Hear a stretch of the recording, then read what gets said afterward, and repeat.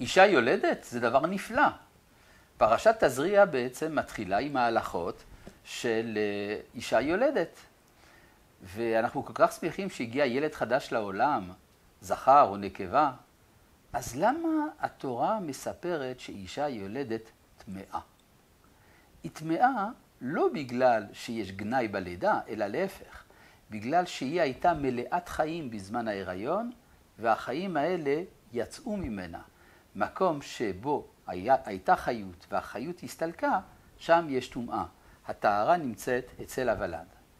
ואם מדובר בילדה, אז הטומאה כפולה, בגלל שכל ילדה עשויה בבוא הזמן גם היא להיות יולדת. כך שאובדן החיים בילדה הוא כפול מאובדן החיים בזכר שנולד.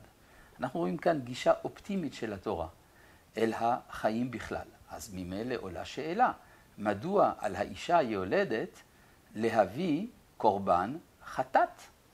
איזה חטא היא חטאה? אז בתפיסה הנוצרית מקובל לומר שעצם הלידה זה כבר חטא, בגלל שיש כאן שותפות בחטאו של אדם הראשון. אבל חכמינו אמרו בדיוק הפוך, שבשעה שאישה יולדת, כשכואב לה, היא נשבעת שהיא לא תזדקק יותר לבעלה. כלומר, היא רוצה להפסיק את, את המשך החיים. ועל זה צריך להביא קורבן חטאת. לאמור, החיים יותר חשובים מן הכאב הפרטי, זה או אחר של אישה זו או אחרת. מבחינה פסיכואנליטית הדברים עוד יותר עמוקים.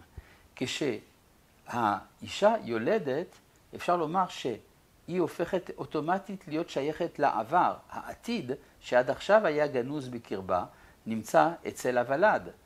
איזה קנאה סמויה מתפתחת בין האם לבין הילד, בן או בת.